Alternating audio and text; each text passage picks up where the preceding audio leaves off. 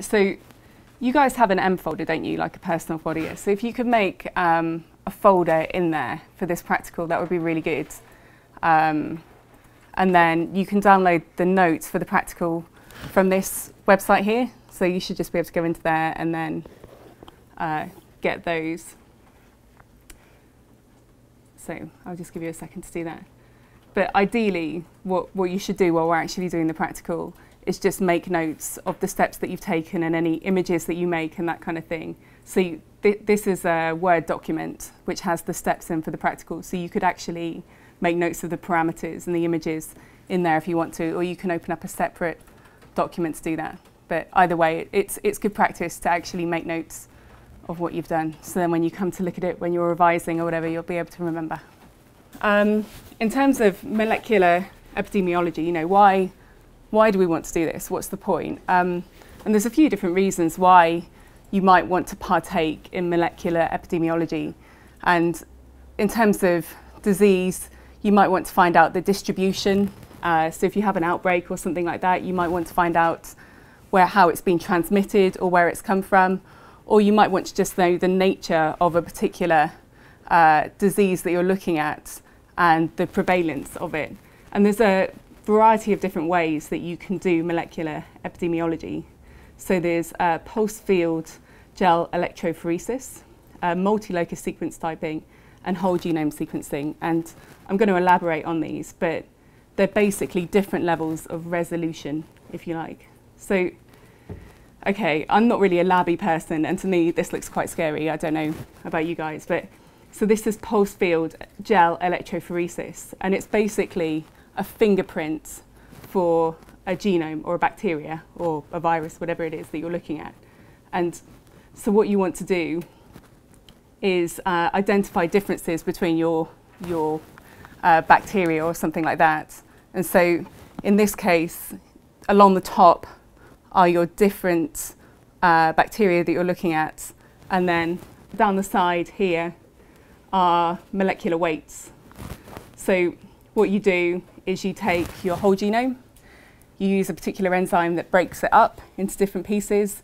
The enzyme does it at particular sites in the genome, and then you get these different sized chunks. You pop it onto a gel, and then it puts it, um, when you pass it through the gel, things stop at a different weight, and there's kind of an electro electrical current that goes backwards and forwards through the gel, and then these molecules of DNA gradually settle down into a particular place.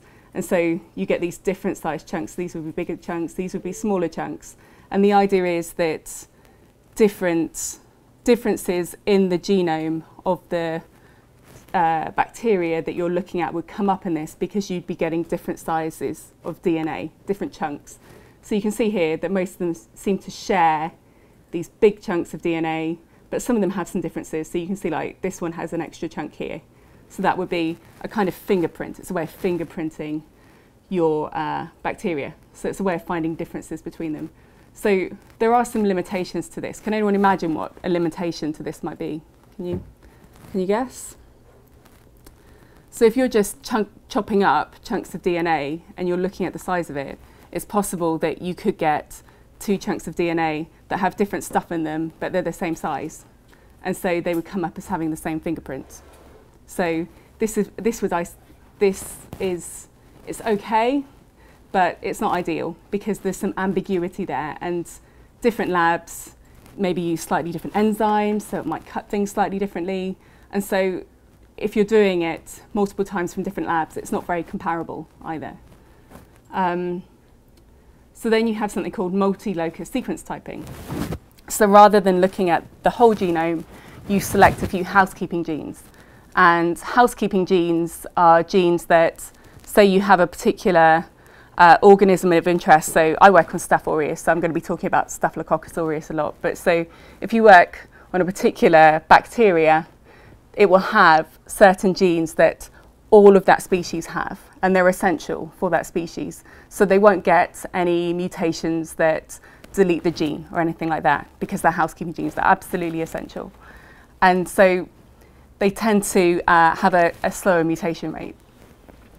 And so what you do is you take a few of these housekeeping genes. It's normally six to eight, and you just look at the, some internal fragments of these genes. So if you imagine that you had gene A, okay, and it, if each of these is a different uh, organism of the same species, so a different strain of the same species, you can see that there's slight mutations, slight differences within this gene. It's the same gene, it's just slightly different between the different strains of bacteria that you're looking at.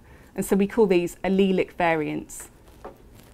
And so you use this to look at how perhaps how the bacteria have evolved and how they've diversified. So in Staphylococcus aureus, there are seven uh, genes that are used for multi-locus sequence typing. As I say, it tends to be between six and eight, depending on the species that you look at. And so for each of these would be an allelic variant of this particular gene. So you can see sequence type 1, they have allelic variant 1 for all seven genes. And then sequence type 2, it has allelic variant 1 for all genes except for this one. And so because it only has one variant difference, we call this a single locus variant of 1. And then this would be a double locus variant because it has two differences from this. But 3 would be a single locus variant of number 2. And so if you were to make a tree of this, that these would be more closely related to each other than perhaps this one, which is a quadruple locus variant, quintuple locus variant of one. Um, and with these, with the multi-locus sequence typing, you can actually take it one step further. So you can look at the population of a particular species that you're interested in um, based on their multi-locus sequence type.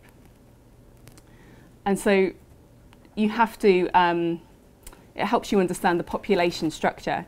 So is, is the population of bacteria that you're looking at really clonal or is it, is it really diverse? So if you look here, you know, I initially was talking about sequence type 1 and then you have these other ones coming off. So these would be single locus variants of sequence type 1, which means that they share all of the same allele allelic variants except for one. And so the size of this, we're going to come to these diagrams in a second, but the size of this uh, indicates the frequency that you find a particular sequence type. So sequence type 1 is very frequent and perhaps the other ones are quite rare. And these mutations that you see in the uh, allelic variants, so in those, in those parts that we're looking at, are what dictate what these sequence types are. So you can see here, like I was saying, so you've got your founding genotype and then a single locus variant. And then if it's two differences in this, so like this one from this one, that would be a double locus variant. So if you go to your practical notebook now that you've downloaded, uh, we can have a go at the first practical and see how you get on.